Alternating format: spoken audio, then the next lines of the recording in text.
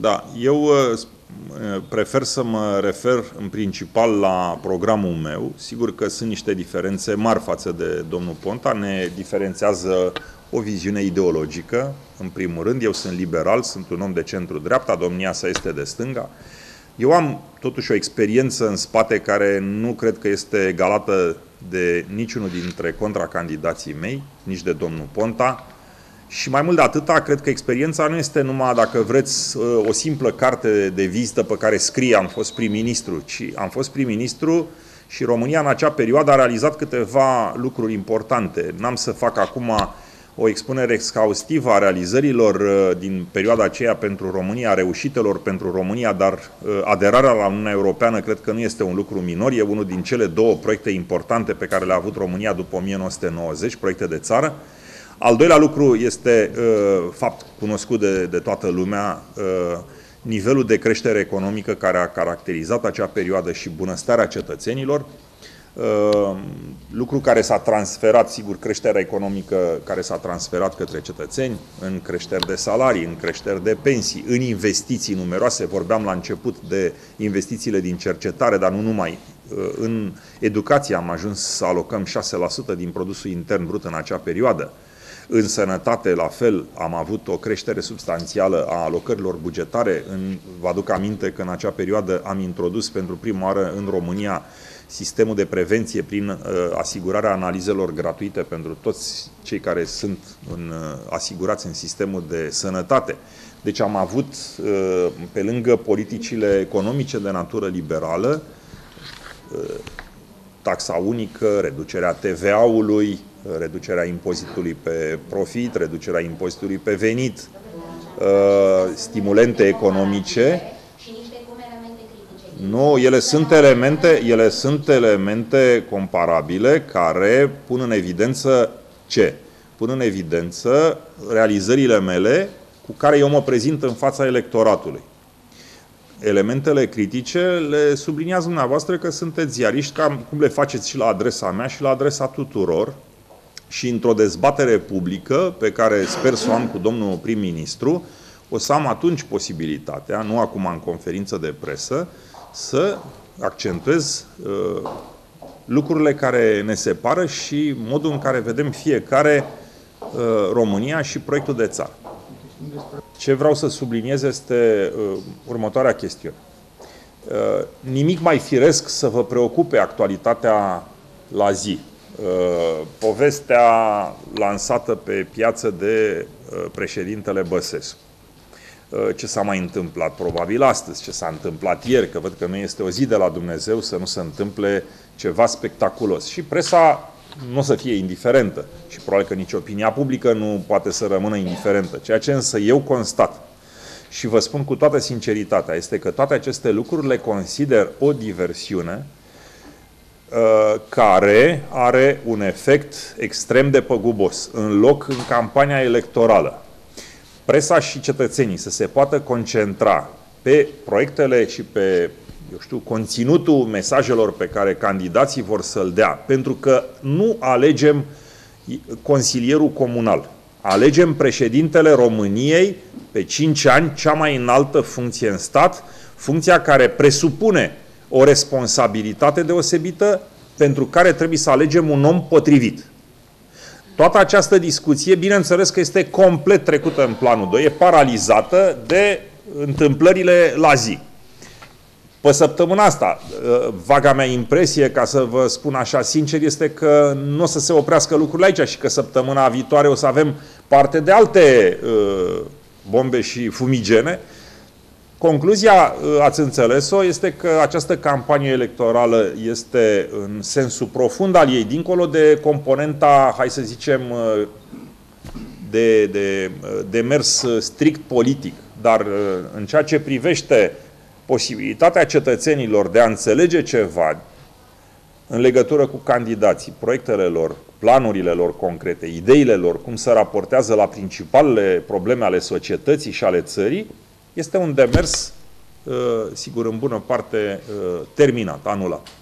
Și aici uh, nu, nu presa are responsabilitatea, nu vreau să credeți cumva că consider că presa este responsabilă, ci cei care inițiază aceste uh, demersuri, aceste diversiuni, poartă întreaga responsabilitate și sigur că nu, nu sunt uh, făcute inconștient, sunt bine gândite tocmai cu acest scop ca să deturneze atenția publică de la lucrurile importante și toată lumea să rămână seara târziu la televizor să vadă a fost, n-a fost uh, agent, uh, probele sunt sau nu sunt, e o argumentație în spate sau nu e, în fine, toată tevatura pe care o, o știm prea bine.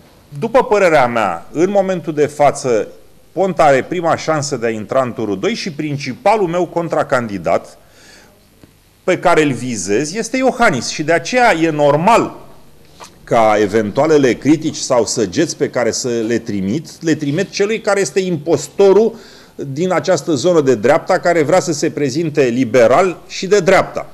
Și eu cred că el este într-o flagrantă impostură și de aceea este normal ca uh, criticile mele să se îndrepte în principal către el. După aceea, în turul 2, v-am spus că sunt cel mai bine plasat pentru a-l învinge pe Ponta și dați-mi voie să-mi folosesc și eu muniția cum cred strategic, nu cum credeți dumneavoastră în funcție de conferința de presă la care vin.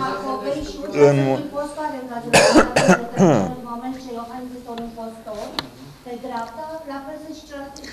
Să știți că doamna, doamna, Udrea, doamna Udrea și cu doamna Macovei uh, nu, uh, doamna Udrea și cu doamna Macovei n-aș avea nicio problemă. Pot să le, consider, să le consider impostoare din alte uh, motive. Dar niciuna până acum n-a spus că e liberală cumva, n-am auzit lucrul ăsta, cel puțin s-au ferit, nici nu ar putea.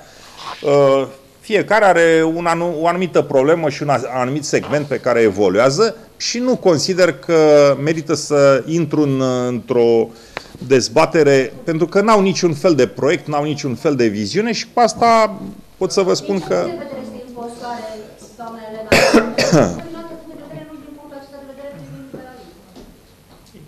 N-am să vă răspund. Da, de ce trebuie? Dar de ce trebuie? De unde ați tras dumneavoastră concluzia că trebuie? De exemplu, domnule Tăricianu, în dosarul Rompetrol, dacă tot a venit vorba, un fost broker vă acuză că practic noastră ați fi făcut ceea Nu un fost broker, ci un escroc. Nu, nu, nu, atenție, ăla nu e broker, ăla nu e escroc, care a fugit cu banii. Întrebarea aceea cu două întrebări într-una. Dacă e la dublă comandă de neau și dacă vă așteptați să... Uh, știți care e chestiunea? Uh, toată lumea o să vină în frunte cu domnul Băsescu, o să spună, domnule, știți că tot ce se întâmplă, eu n-am nicio implicare, a spus. Nu, nu știu nimic, da. Ce coincidențe! Ce coincidențe! Uh, părerea mea este că uh, justiția fără îndoială trebuie lăsată să-și facă treaba fără niciun fel de interferență. Dar, având în vedere că multe din aceste dosare sunt pe masa procurorilor de ani și ani de zile, cum de s-a întâmplat să apară tocmai acum? Asta e întrebarea pe care nu pot să mă rețin să o pun. În rest, n-am alte comentarii de făcut. Nu, nu recunosc implicit. Îmi pun niște întrebări, pentru că e logic să-mi pun întrebări, ca și dumneavoastră, fiecare are propria, propriul raționament și propria judecată. Și libertatea de, libertatea de, de gândire, încă, din câte știu eu, nu e controlată de nimeni, nici de uh, procuratură. Pot să mă gândesc uh, și pot să-mi pun întrebări. Uh, de ce toate aceste dosare nu au fost uh, materializate într-un fel uh, ceva mai devreme.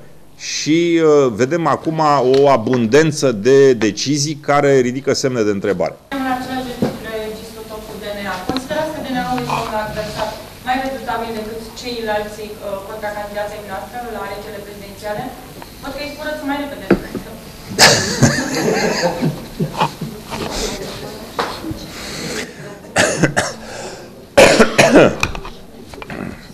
și ce se întâmplă? Și ce nu. Se... Acum, uh, uitați, uh, chiar pentru că suntem în campanie electorală, nu vreau să fac uh, comentarii politice. Uh, sigur că toată lumea observă ce observați și dumneavoastră, asta e altceva, nu, nu pot să spun că nu e așa. Tocmai de aceea, uh, cred că uh, competiția electorală nu ar trebui să fie distorsionată de asemenea întâmplări care uh, ar fi putut să fie bine evitate în condițiile în care uh,